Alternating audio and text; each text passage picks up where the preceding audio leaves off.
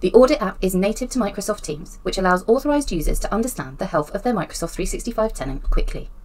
Using the reports, they can identify risks and look into areas that need attention, whether that be looking for guest users that are active in your tenant, looking for sharing links for data that has been shared externally and who with, looking for deleted or orphaned users that are no longer part of your tenant but still have access, or investigating the storage available within your tenant. All of the reports in Audit have various options for running, whether it be a tenant-wide report or looking into individual workspaces.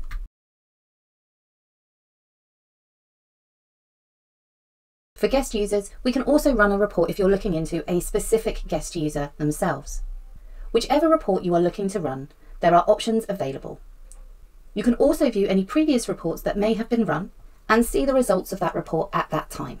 This also allows you to come in and check reports that are currently running so if you have a report that is going to take some time to run, you can leave it running and come back to it later.